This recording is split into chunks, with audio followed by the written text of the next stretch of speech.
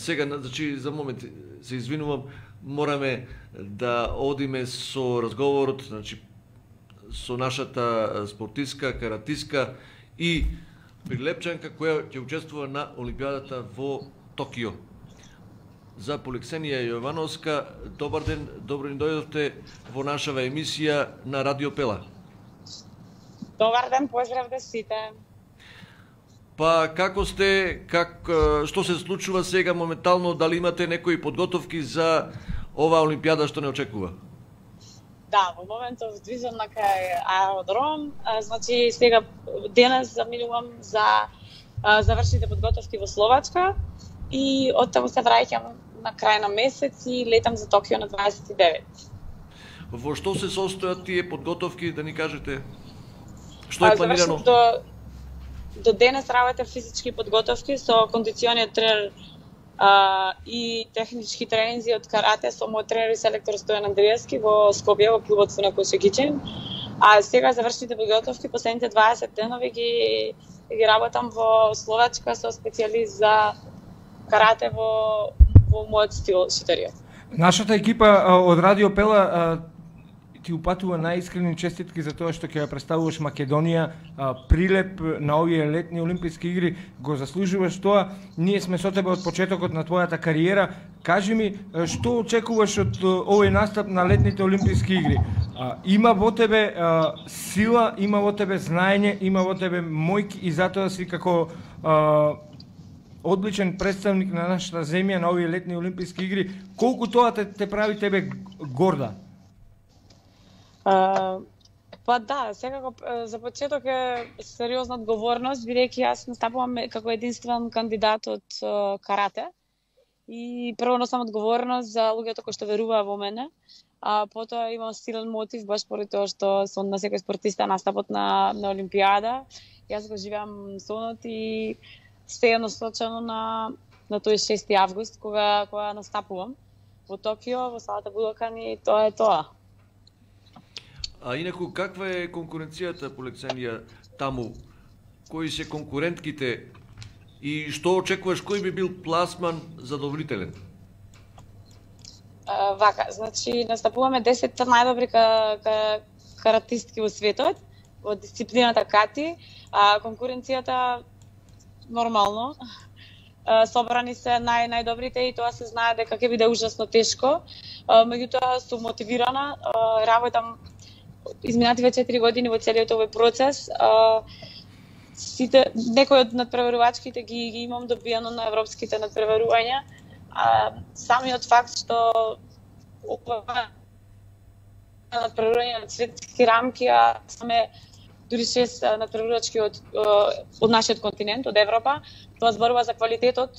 Сите мои успеси на Европско покажале дека можам да се носам и можам да очекувам резултат се што можам да ветам дека ќе дадам максимум и дека ќе направам ќе направам сите овие 4 години да ги да ги покажам на татами и да да да извежбам како најдобра верзија, најдостојно да представам нашата земја и целиот тим кој што работи со мене сите овие години. Сите оние кои што учествуваат на Олимписките игри веруваат во сонот да се освои медал. А како ти, бидејќи кажа дека го живееш сонот, како би го остварила овој сон? Што би што да. би направила ако го, ако освоиш олимписко олимписки медал, јас ќе кажа по олимписко злато. А, знам дека а, можеш да го направиш тоа, но а, што би направила ако се случи да освои Поликсенија Јовановска медал од овие летни олимписки игри? А, ти благодарам, да се благодарам за поддршка која што вистина имате од, од почетокот на на мене на мојата кариера и баш ме прати од прилеп да ве поздравам сите и само да јас а, сум прво сакам да бидам реална и некако не сакам да влезам во таа еуфорија, се стигне еуфоријата на радост, на сон, живење на сонот. Сега очекувам пред се да дадам максимум, да бидам на последниве тренинзи исполнителна до крај, значи што би очекувале, останува да видиме прво како ќе се одвива текот на на, на што што би бил крајниот резултат, па Поздравија Боже, ако се пофалам, ти двојам прво тебе. Благодарам, јас знам дека ќе успееш и ако настапуваш во доцните часови, јас сигурно ќе те гледам, ќе најдам начин да те гледам. Ако успеам тоа и ќе го ќе го сублимирам како видео со коментар, па ќе го имаме во нашата програма. Кажи ми што те очекува до почетокот на летните олимписки игри? Што треба да направи Поликсенија Јовановска и каде моментално се упатуваш? За летните олимписки игри сега е за, за завршна фаза, плановите се направени. Сега само работам. Еве денес само што пристигнам на аеродром, летам за Братислава Словачка, каде што ќе бидат 20 за завршни денови со постојано два, два пати во денот тренинзи, физиотерапевти и психолошка поддршка. Сето тоа го завршуваме на 24-ти се враќам во Македонија и на 29-ти летам за Токио. 24 се враќаш во Македонија, верувам дека на 25 ќе те имаме уште еднаш во нашата програма, ќе направиме напор. Uh, јас ти посакувам од срце многу успех, што и да направиш таму, знам дека ќе го направиш со Кејв за Македонија за прилеп. И верувам дека на крајот по завршувањето на летните олимписки игри, па и тебе нека ти се потрефи, нека се откаже некоја надпреварувачка и да се вратиш со медал. Па не да се откаже, да, да победам треба. Добро. Добро, как, како и да е, ти посакуваме од се срце се најдобро, ти си нашиот спортски чувар на градот Прилеп и на нашата земја.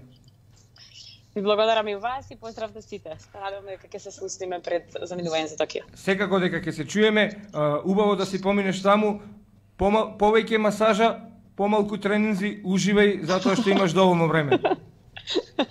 Океј, пати. Секој е добро, а ние продолжуваме секако со разговорот во нашето студио. Само малку правиме една музичка пауза и веднаш се враќаме со разговор тука. Ти благодариме, Поликсенија, се најдобро.